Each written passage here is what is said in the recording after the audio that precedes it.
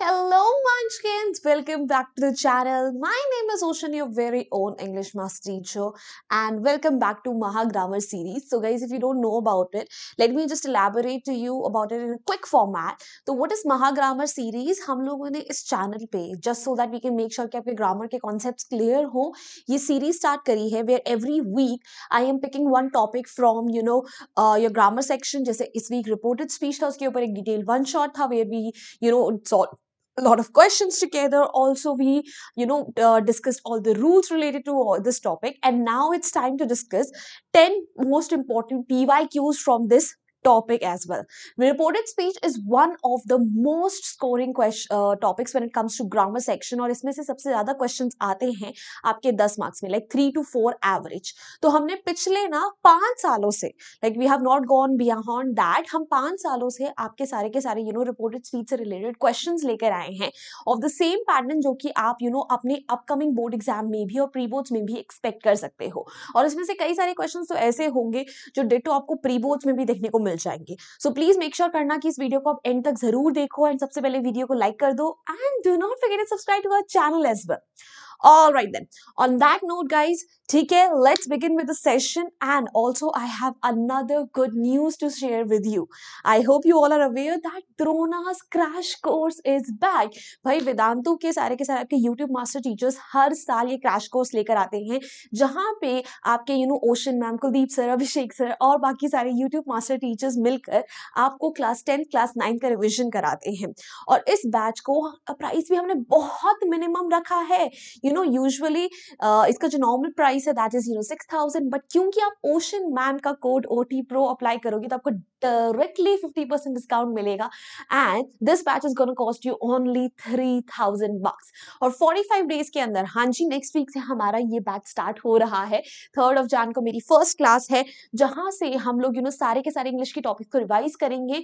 And before fifteenth of February हम सारा का सारा आपका क्लास टेन का कोर्स भी कंप्लीट करा देंगे। So what are you waiting for guys please join this Drona का बैच राइट नाउ और इसे ज्वाइन करना भी बहुत आसान है। बस जो वीडियो आप अभी देख रहे हो ना उस वीडियो के डिस्क्रिप्शन बॉक्स में जाओ। देखो, पहला लिंक ही आपको द्रोणा के क्रैश कोर्स का मिल जाएगा। Once you click on it ऐसा कुछ आपके सामने आएगा। स्क्रॉलिंग डाउन आपको सीधा बस बाय फुल कोर्स पे क्लिक करना है और क्लिक करते ही यहाँ पे देखो कोड अप्लाइड है, जिसकी वजह से you just have to pay only three thousand bucks for this revision course now guys beyond that इसके अलावा भी एक और चीज़ है हमारे पास that is test series once you done with thorough revision through Drona, आप लोगों के लिए फ्री सैंपल पेपर्स भी हैं। By Vedantu latest CBSE marking scheme के हिसाब से। तो हर सब्जेक्ट के थ्री थ्री सैंपल पेपर्स है for free of cost like zero बटा ज़ीरो चार्ज यू ठीक है आपको बस कुछ नहीं करना है। Again just go back to the video that you are watching और इसके अंदर सेकेंड जो आपको यू नो लिंक मिलेगा that is for the test series once you click on it आपको बाय कोर्स पे बस क्लिक करना है। ज़ीरो रुपीज़ आपसे चार्ज होंगे। ठीक है आपको बस अपनी प्रोफ़ाइल क्रिएट करनी है। सो so, अगर द्रोणा नहीं खरीद सकते at least you know test series खरीदो। And let me just tell you कि द्रोणा का एक यू नो प्रीमियर वर्जन भी है। So if you are not even able to pay three thousand आपको लग रहा है कि आपका रिविजन बहुत सॉर्टेड है। तो यू you नो know, एक इसका प्रीमियर वर्जन है जहाँ पे लास्ट ईयर की सारी क्लासेस आपको मिल जाएँगी। नोट्स वगैरह सब कुछ वैसा ही रहेगा। बस you would not be able to interact with your teacher face to face तो that is for one thousand bucks आप उसको भी खरीद सकते हो। That's all up to you all right now moving ahead ठीक है let's discuss the question number one now so भाई आपके जो भी रिपोर्टेड स्पीच से रिलेटेड क्वेश्चन आएँगे एग्ज़ाम में ठीक है वो तो आपके या तो एमसीक्यू फॉर्मेट में आएँगे या डायरेक्टली ऐसे आएँगे जहाँ पे देखो आपको यू you नो know, एक कॉन्वर्सेशन दे रखी होगी और कॉन्वर्सेशन का कुछ पार्ट आपको रिपोर्ट करना पड़ेगा। जैसे मैंने कम्स टू दिस क्वेश्चन तो हमें रवि और रीना के बीच की कॉन्वर्सेशन दे रखी है वे Ravi says Reena lend me hundred rupees and Reena is saying I don't have it right now but I will arrange it for you अब इसमें हमें पूरा का पूरा पार्ट रिपोर्ट नहीं करना है। आप अगर इसको पढ़ोगे तो इसमें लिखा होगा, रवि आज Reena to lend him hundred rupees to which Reena replied that यानी सिर्फ़ हमें रीना वाला पार्ट ही रिपोर्ट करना है। This is from CBSE twenty two twenty three का क्वेश्चन पेपर तो इसके अंदर हम सिर्फ़ इस पार्ट को अपना पूरा चेंज कर देंगे। जहाँ पे यू नो सारे के सारे रूल्स आपको अप्लाई करने हैं रूल्स ऑलरेडी हम डिस्कस कर चुके हैं। तो चेंज करके ये क्या बन जाएगा? आई का बन जाएगा she because Reena is a girl don't का बन जाएगा डिंट हैव का बन जाएगा हैड नाउ का बन जाएगा देन विल का बन जाएगा वुड अगेन आई का बन जाएगा शी एंड यू का बन जाएगा हिम क्योंकि वो जिससे बात कर रही है रवि, वो एक लड़का है। So the answer becomes she did not have it right then but she would arrange it for him. It's as simple as that. You just have to apply rules over here. आपके rules अगर सारे clear हैं, सब कुछ याद है तो questions बहुत मुश्किल नहीं है। Now moving on to the question number two over here which is again from CBSE 22-23 का batch जहाँ पे एक mother daughter के बीच की conversation हमें given है where mother is saying why are you looking so worried and daughter replies that my exams are approaching ठीक है तो बेसिकली आपके वाली सिचुएशन हो गई है राइट सो so, यहाँ पर भी हमें देखो पूरा पार्ट नहीं रिपोर्ट करना है so the best part is इसमें से आपको सब कुछ रिपोर्ट नहीं करना होता in response to the question of the mother the daughter replied that इस बार भी हमें सिर्फ़ डॉटर वाला पार्ट रिपोर्ट करना है। सो so, डॉटर क्या बोल रही है? माई एग्ज़ाम्स तो यानी ये बन जाएँगे हर एग्ज़ाम्स क्योंकि लड़की है और आर अप्रोचिंग बन जाएगा were exam were approaching so her exams were approaching it's as simple as that बहुत ज़्यादा मुश्किल अगेन नहीं है। ठीक है? बहुत ही सिंपल सिंपल क्वेश्चन है। मैं आपके सामने पीवाई क्यूज इसलिए लेकर आई हूँ ताकि आपके सारे डाउट्स क्लियर हो जाए। Now moving on to the question number three ठीक है? सो अगेन ये 22 23 का क्वेश्चन है। आप देख रहे हो तीन क्वेश्चन आपको ऑलरेडी दिख चुके हैं।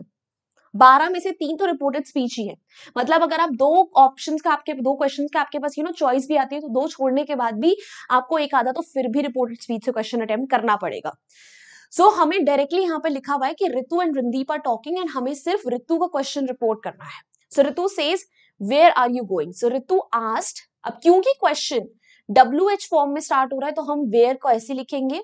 उसके बाद हमेशा आता है सब्जेक्ट वेयर यू है, हमें पता नहीं है, रणदीप से बात कर रहे हैं इट्स बॉय तो वेयर ही उसके बाद बाकी सारा sentence where he was going so whenever you are reporting a question guys आपके पास दो फॉर्मेट होंगे। या तो क्वेश्चन ऐसा होगा जिसका आंसर येस नो फॉर्मेट में होगा, जैसे do you like this are you coming ठीक है? और कुछ क्वेश्चन ऐसे होंगे जो डब्ल्यू एच से वेयर वॉट वेन हाउ इनसे स्टार्ट होंगे। तो अगर येस नो वाला क्वेश्चन है तो उसमें आपको इफ़ या वेदर लगाना पड़ता है। और अगर इस टाइप का क्वेश्चन है तो आपको डायरेक्टली फ़र्स्ट जो क्वेश्चन टैग है, उसे लिखना है, फिर सब्जेक्ट लिखना है, उसे चेंज करके, और फिर बाकी सारा का सारा sentence remember this format guys पहले पूरा का पूरा ये where he was going question tag subject and then rest of the sentence okay ritu asked randeep we forgot to mention randeep see such silly mistakes can be made if we are given who is she speaking to तो हमें listener को भी mention करना पड़ेगा ठीक है so do not make these mistakes because exam में one या हाफ़ का खेल नहीं है इट्स आइदर वन और zero all together so a little mistake can cost you the entire one marks just letting you know. Okay, so moving on to the question number four over here. So, again ye conversation hai दो लड़कों के बीच की where Anil is saying where are you going Sanjeev is saying to the airport Anil may I drop you there as I am going in that direction now this question becomes even easier for you why because इसमें आपको options given हैं. सो या तो proper ऐसे film में blanks वाले format में आएँगे या एमसीक्यू फॉर्मेट में। अगेन 22 23 का क्वेश्चन है। So Anil Sanjeev where he was going and offered to drop him as he could be going in that direction, he would be going in that direction, he is going in that direction or he was going in that direction अब ये वाला part हमें दिया गया है।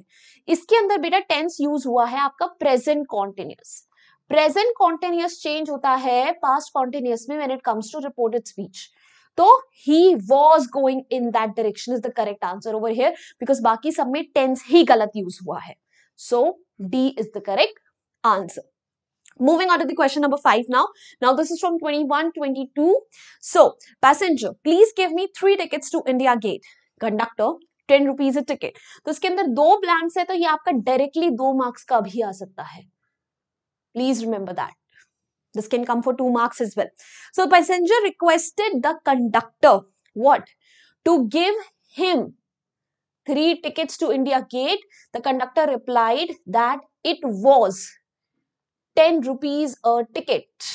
देखो, आपको proper एक यू नो सेंटेंस के फॉर्म में आपको आंसर देना है इंपेरेटिव सेंटेंसेस को। You can not just you know leave it as a comment और you know as a request something please की जगह हम रिक्वेस्ट यूज़ करेंगे, उसके बाद टू लगाएँगे। So the passenger requested the conductor to give him three tickets to India Gate. The conductor replied that it was 10 rupees a ticket, जो मेरा answer है या फिर the cost per ticket was 10 rupees or it was 10 rupees per ticket. Whatever you want, आप तीनों में से कुछ भी लिख सकते हो. Moving on to the question number six over here, guys. So now Abhilash and Neha had a conversation about the inauguration of Neha's dance academy. ठीक है तो conversation चल रही है dance academy से related. Now report Abhilash question. हमें बस ये देखना है कि अभिलाष ने ये question बोला है नेहा से। Is your best friend helping you in this venture now this is from CBSE 2024 का सैंपल पेपर नाउ ये वो वाला फॉर्मेट होगा जो मैं आपको बोल रही थी ना, जिसका आंसर यस या नो होगा। देखो is your best friend helping you with this in this venture का आंसर क्या होगा? या तो वो हेल्प कर रहा है या नहीं कर रहा है। तो ऐसे क्वेश्चंस को रिपोर्ट करने के लिए हमें इफ़ या वेदर यूज़ करना पड़ता है।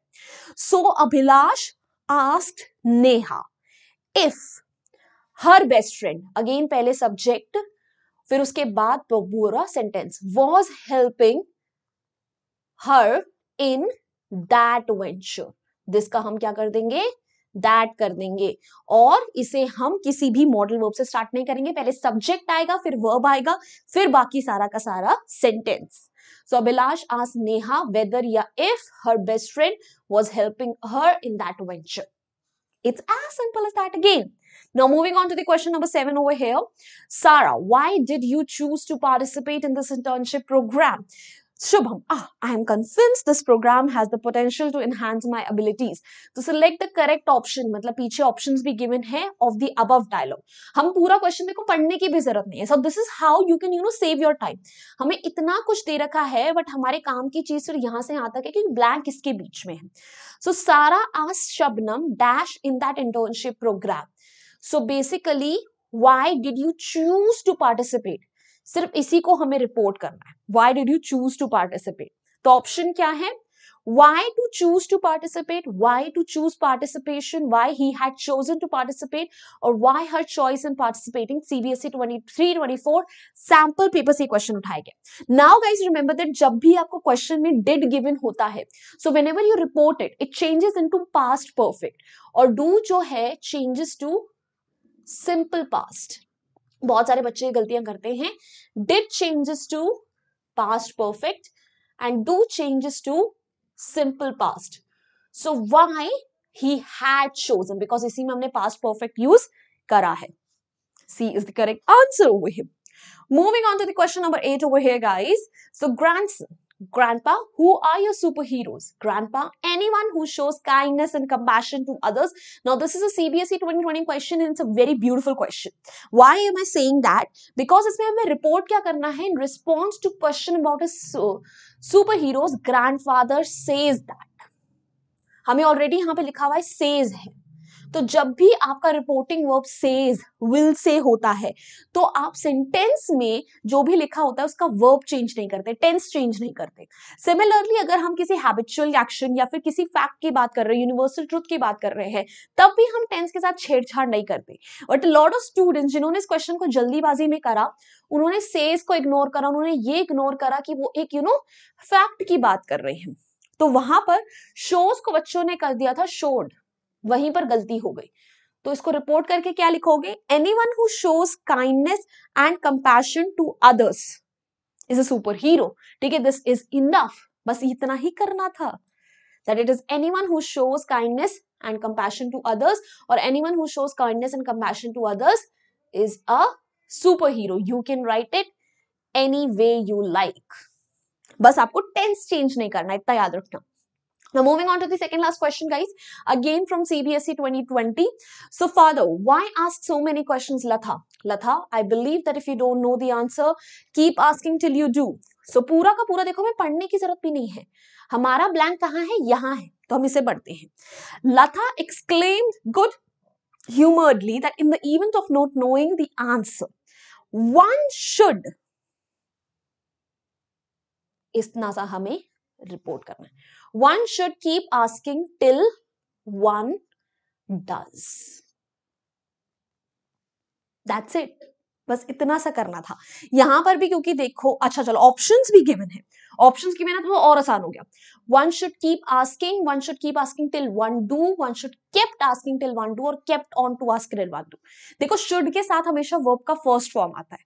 तो केप्ट वाले ऑप्शंस तो यहाँ पे गलत हो गए। और वन के साथ डज आएगा डू नहीं आएगा because it is in single तो one should keep asking till one does is the correct answer over here ठीक है? छोटी छोटी चीज़ों को आपको याद रखना है। सारे रूल्स अगर याद रखोगे, बहुत आराम से इन क्वेश्चन को आंसर कर सकते हो। Now this is the last question of the day guys client I am worried this is a very complicated case lawyer don't worry I have never lost a case in life So client was worried as it was a very complicated case, but his lawyer told him, CBSE 22 sample paper, his lawyer told him to not worry as he had never lost a case in his life. Pronouns का change, tense का change, imperative sentence को किस तरीके से change करना याद रखो, you are good to go. Told him not to worry as he had never lost a case in his life. That's it. Voila, you are done. So, guys, it is the most scoring topic and yet the easiest one as well, I would say, because बहुत ज्यादा ना इसके predictable questions आते हैं boards में. So, please इसको आप छोड़कर जाना. अभी भी अगर reported speech में doubt है तो go watch the one shot. It is already out there on the channel. And that's it from my end. Now, this is a Telegram channel, guys. Please join our community over here as well for PDF, BTS, and reminders of such amazing session. The link for the same is given in the description box. Also, guys, this is my Instagram handle. Feel free to ping me over here as well. And lastly, if you enjoyed this video, found it helpful, make sure you hit the like button, share it with your friends, and do not forget to subscribe to our channel as well. So, bye bye, guys. Hasta la vista. Fir milenge. bye, bye.